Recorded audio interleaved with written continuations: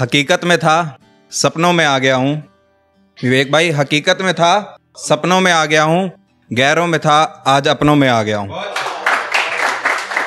तो अपने बारे में बताए तो मैं अपने अंदाज में कि कोई बात है, किसी मकसद से हूँ यहाँ, ना किसी बहाने से हूँ।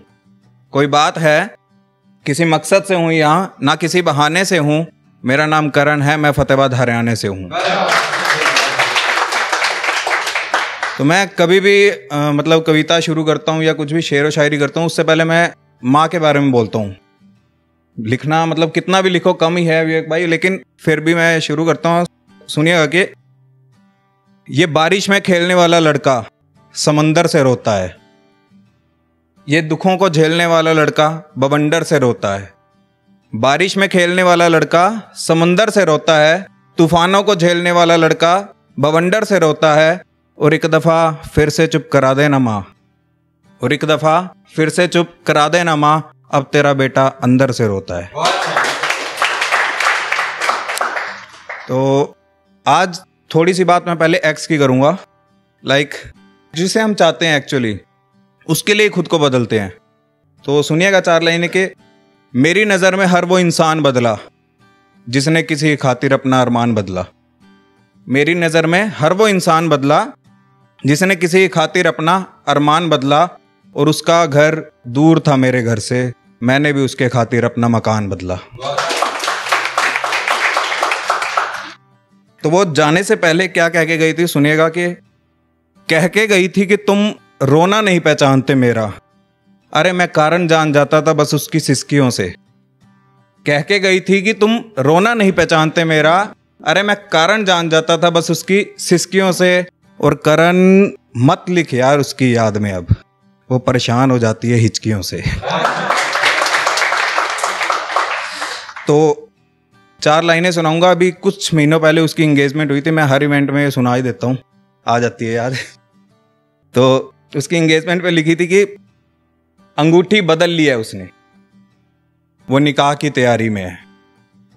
आज भी उसकी सारी यादें कैद मेरी अलमारी में अंगूठी बदल ली है उसने। वो निकाह की तैयारी में है।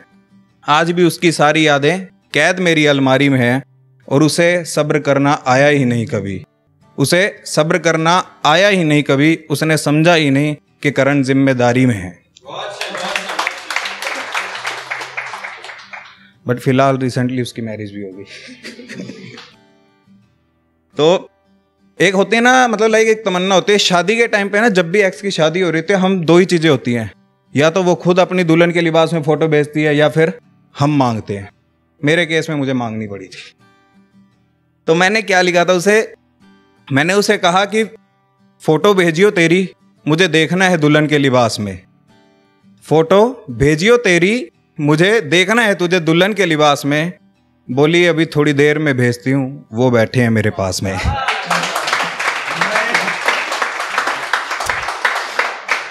जब उसने ये लाइन बोली तो मैं वहीं से बैकआउट कर गया। मुझे नहीं चाहिए। फिर उसकी बेस्ट फ्रेंड को मैसेज किया कि वो, वहाँ वहाँ होगी ना अटेंड कर रही होगी। तो उससे पूछा कि क्या चल रहा है, कैसा चल रहा है? देन वो मुझे हमारे बारे में बताने लगी कि वो तो बहुत बातें करती थी तेरी।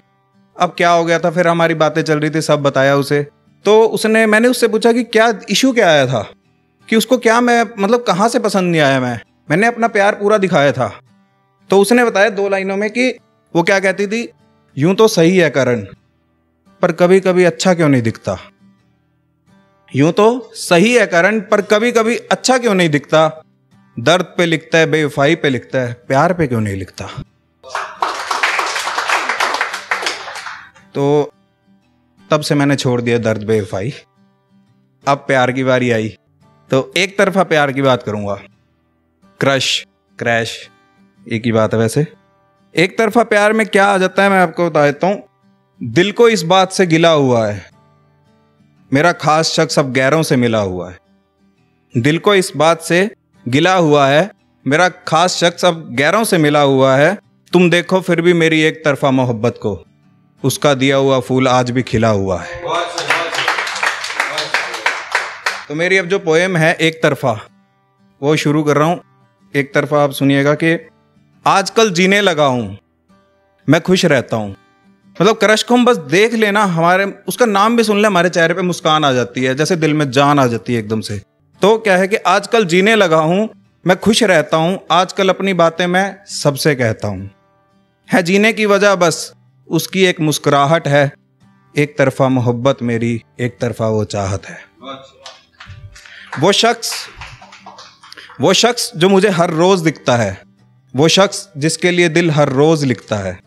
वो शख्स जो मुझे हर रोज दिखता है, वो शख्स जिसके लिए दिल हर रोज लिखता है, सिर्फ़ दीदार से ही जिसके मिलती मुझे राहत है। एक तरफा मोहब्बत मेरी, वो एक तरफा चाहत है।